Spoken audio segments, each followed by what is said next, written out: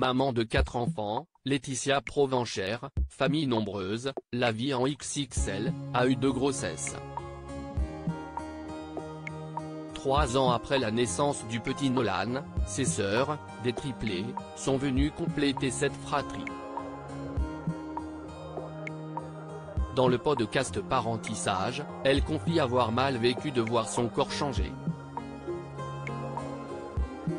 En intégrant l'émission Famille Nombreuse, La vie en XXL sur TF1, Laetitia Provenchère a accepté de dévoiler son quotidien de maman célibataire.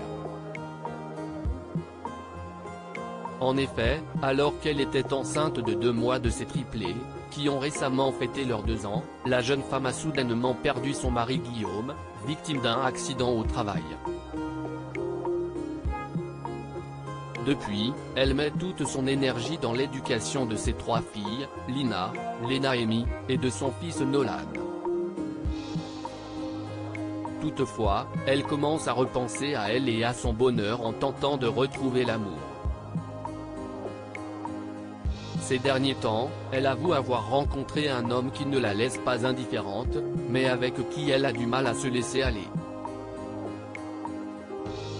transparente sur sa situation compliquée, la mère de famille s'est livrée dans le podcast Parentissage.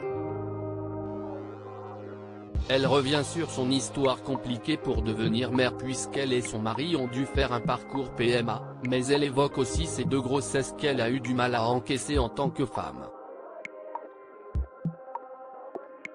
Laetitia Provenchère, mal à l'aise de voir son corps changer pendant sa grossesse avant de tomber enceinte, Laetitia Provenchère était prête à devenir mère et à voir son corps changer.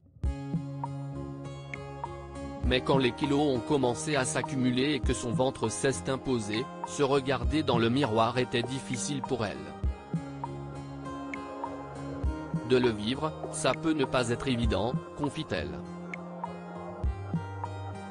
Elle ajoute, j'avais un rapport au corps à cette période-là qui était un peu compliqué. J'ai été forte à une certaine période de ma vie, très maigre à une autre et j'avais peur justement de voir ce corps changer. Donc j'ai eu un peu de mal à l'accepter. À partir d'un certain moment, elle a fini par s'accepter au fil des semaines, Laetitia Provenchère a fini par accepter son nouveau corps, vers 6 mois, quand on a vraiment un ventre de femme enceinte, un beau ventre dessiné, c'était beaucoup plus simple, explique-t-elle dans le podcast.